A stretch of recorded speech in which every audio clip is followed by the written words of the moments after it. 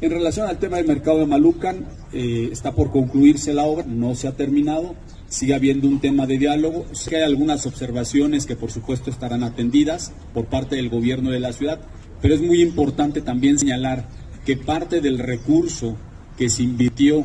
por parte del gobierno de la ciudad para resolver en parte el conflicto que por cierto nos heredó la pasada administración, ¿sí? Es para pagar una deuda de 5 millones de pesos que ha generado el conflicto de la reubicación de los propios comerciantes que se encuentran ahí establecidos. Hasta el momento yo le he instruido a la Secretaría de Gobernación que haya diálogo, que haya acuerdo. El objetivo es al final de cuentas que les vaya bien a todos